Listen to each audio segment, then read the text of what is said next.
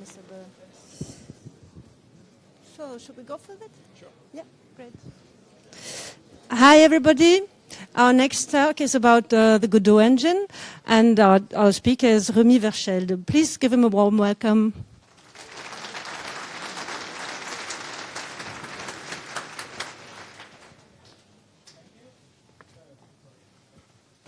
Turn it on. Thank you. I will talk to you about uh, the Godot game engine, which is a 2D and 3D open source game engine. And uh, yes, the name comes from the famous play by Samuel Beckett, hence the jokes that you will hear all the time about Godot. And first of all, what is Godot? Uh, so it's a multi-platform 2D and 3D game engine which uh, can be used to create any kind of game genre. And you can then export it to uh, all desktop platforms, uh, mobile, Android, iOS, and the web. It uses um, domain-specific uh, language, which is called GDScript, which is inspired from Python, but doesn't share anything about um, like uh, how it's implemented. And we also offer, since the new version, uh, C-sharp support. And it's a full feature editor, so I don't know if you know some proprietary game engines which are used uh, in the market, like Unity or Unreal. Uh, it's quite similar. So you code your, ng- your game in the editor, and you like put some pieces together to create logic, and um, in the end you export your game and get a binary and uh, a data pack. And of course, it's free and open source uh, under the MIT license. So quickly, some history of the project. Um, so it was created, it was started in 2007 and open source in 2014. Before that, it was an in-house engine by uh, Juan Linetsky, uh, the guy here, and um, Ariel uh, Manzur, which are both from Argentina. And so it was then published as free and open source in 2014. And that was a good decision because it experienced massive growth since then. Uh, you can see on the graph here, it's a bit outdated because uh, I just translated an old presentation in German for today. Uh, but um, so at the open sourcing, in blue, it's the number of issues we get each month created on GitHub, and in red, the number of pull requests. And you can see that lately it's going very higher. Uh, the, the peaks are on bit before releases. And uh, if I had updated the, the image, you would see that for 3.0, it's about here. We got 700 pull requests uh, in, de in December. And uh, so we have over 4, 450 contributors, and our last release was last week. Um, that's why I haven't prepared new updated presentation because I had no time at all. Uh, but it's been worked on for 18 months. It's, I would say, pretty impressive. I will talk a bit more about it later. Um, Godot is made for and by its community. Uh, so all the source code and documentation demo projects are available on GitHub. And we get, in average, like 15 pull requests per day. Uh, so that's very active uh, for a free and open source project. And we have communities everywhere because it's community driven, so people just create communities in whatever platform they like. So we have people on IRC, on, we have our own Q&A, uh, Matrix, Facebook, Discord, Reddit, forums, and even, even more than that. Here are some examples of Godot games. So I don't know if you see the colors well. Uh, the contrast is not so good. But um, yeah, there are some 2D games. Uh, that's for PC and uh, that's for um, mobile. That's an open source game, which is for PC and mobile. That's an upcoming 3D game with Godot 3. That's not seeable, but that's a 2D game, which was uh, the winner of the GitHub Game Off Game Jam uh, this year uh, in 2017 and that's also um, a rendering in our new engine. So, yeah, quickly Godot in the free and open source ecosystem and in the game dev industry. Um, you all know that there are open source engines, game engines, what we used to call game engines in the past, like Ogre or SDL2, which nowadays, due to how game engines are used to represent those massive editor-based tools. We now would say SDL2 is more a library, a framework.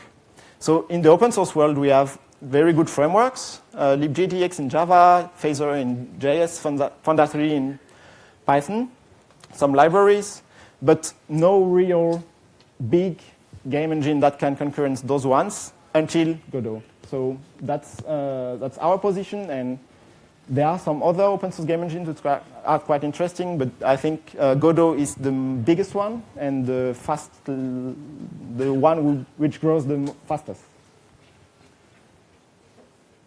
So the strength of Godot is um, it's very flexible scene system. So you create your whole game based on uh, nodes that you pack together and create scenes, and then you can instance those scenes in other scenes. So in the end, um, has uh, and Tim Sweeney liked it. The comparison that Godot is a biggest uh, Unity is a biggest scene where you put your prefabs and stuff like that, and Godot is a tree of scenes that go back to the root. So um, you have tons of nodes which can be used for a variety of use cases, so sprites, um, audio players, kinematic characters, everything. So you just put ready-made elements with their own API, and then you can use them to create your game. Or you can create your own by make inheriting from the scenes that you created. Everything can be animated, so that's quite nice, because anything that has a property, you can animate this property. So you can move stuff, but you can like um, do stuff which is different than just visual uh, changes. So you can also alter properties like decide to play a sound or decide to stop an animation and stuff like that. It has its own full feature UI toolkit to create uh, so the GUIs in your games. And the Godot editor itself uses it. So Godot runs on Godot. It doesn't use Qt or GTK or anything. It's full, uh, full custom. So that means we had to create a pretty decent toolkit so that we have a good editor and everything from this toolkit is available for your own games. Uses simplified shader, shader language, uh, uh, which is based on GLSL, but simplifies some of the tasks that you have to do in GLSL to use directly built-in features of the engine. It's very friendly to version control. Uh, so we have uh, text-based uh, formats, uh, mainly TSCN, text scene, which is similar to uh, the TOML uh, spec. And that's quite nice when you want to use uh, Git or Mercurial or stuff like that because um, yeah, you can see exactly what changed and it's, it's much easier to fix merge conflicts when you work with other people on your project. And we have a fully free and open source software asset library. So unlike other engines which have asset stores with tons of paid assets where you can use to make asset flippers and sell on Steam. We only have free and open source tools, uh, so that's a limitation that we chose because it's much simpler to handle, and also because we want to promote making open source tools. And I mentioned it, we released Godot 3 um, last week on Monday, uh, this week on Monday, and uh, yeah, the pen is bad, but it's literally a game changer.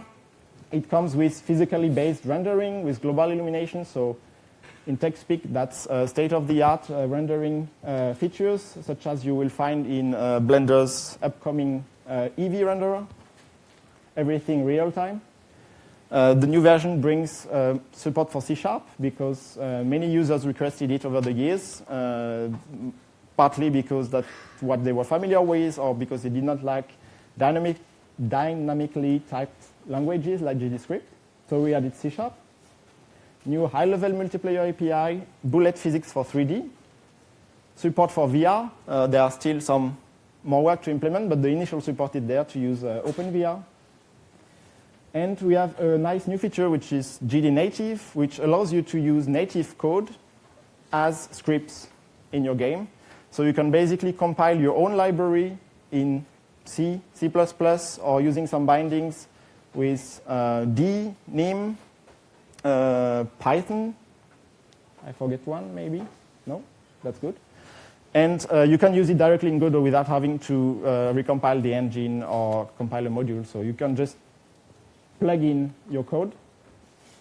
And that was, yeah, 18 months of work. So uh, we are very happy to finally release it. The response so far is awesome. So I will hope you will also give it a try and like it. You can see here uh, that's uh, also not so visible, at least from where I am, but uh, that's a 3D render of an upcoming game uh, by one of our contributors, which has some pretty nice 3D uh, effects you can find the presentation slides later on if you want to check uh, the pictures. Some more pictures about Godot 3, uh, the good old Sponza, some of the assets uh, that we found uh, on the internet to test our renderer. That's custom-made assets uh, with the Godot logo. You can see this demo at our stand. Some more pictures about uh, features in Godot, so refractions, which allows here, for example, to make very nice uh, ice effects, anisotropy for stuff like aluminium, subsurface scattering for skin, rim for nice effects on this teddy bear. And that's global illumination. That's uh, showing everything here. There is no light added. It's only emittive material. So this stuff is just white balls with a high coefficient of emission, and it lights the whole scene. And yes, you can find more infos on our website, the address for the source code repository, the documentation, IRC channel if you want to discuss uh, with the developers. We are mostly old, bearded free software developers, so we are on IRC. But as I mentioned, there are also many other cooler communities nowadays uh, where we are also. And you can come see us at our FOSDEM booth. We're in building K uh, on uh, level 2. So when you come from here, it's like directly on the right instead of going to the distro level. We are the first stand when you enter. And that's it. Um, so I don't know if you have any questions. Uh, would gladly try to answer them. Ah, yes, uh, we have the Godot.con on Monday and Tuesday uh, in Brussels. So if you are from the area uh, or plan to stay a bit longer, you are welcome to join us. It's like for them, free entry. Um, it will be at uh, the Ludus Academy, which is game dev school in Brussels. Uh, you'll find, you can find all information on our website or come to our stand and ask us. You are very welcome to join us. So I will ask Ram to come for questions. Help me a bit with the technical stuff because I'm just project manager and not a high-level coder. But uh, so if you have questions, please speak very loud and I will repeat them. New physically based rendering performance uh, on mobile devices? Is it uh, usable? Okay, so the question is what, how is the new um, perf the performance of the new physically based renderer on mobile devices? Oh, okay. Uh, the physically based part is fine because it's not very much. The global illumination uh, system we use in Godot 3, uh, the main one is real time, uh, and that will not work on mobile devices, but you can do uh, light, light map making, which is what you usually do for such devices. And yeah, so to, to say it otherwise, the performance is bad on mobile devices. That's why for Godot 3.1, 3.1, which comes in a couple, two or three months, we will re-add a renderer based on GLES2 um, with a subset of those PBR features supported and no GI, no global illumination, so that you can run Godot games um, on like um, low, low range and mid range uh, devices. Yes. Um, can you deploy to embedded devices, e.g., a Raspberry Pi, and if so, in general, like what graphics stack do you guys use? If it supports So the, OpenGL, the question sure. was, uh, can you de- export on embedded, embedded devices like uh, Raspberry Pi, and how is the rendering stack? If it supports OpenGL, it should work fine. I think there are ports of it to Raspberry Pi. Yeah, uh, for, for Godot 3, not yet, uh, but for Godot, 3, for Godot 2, uh, I know someone who exported to Raspberry Pi. He just basically had to compile our X11 platform The performance seems to be good to from ARM, and it worked.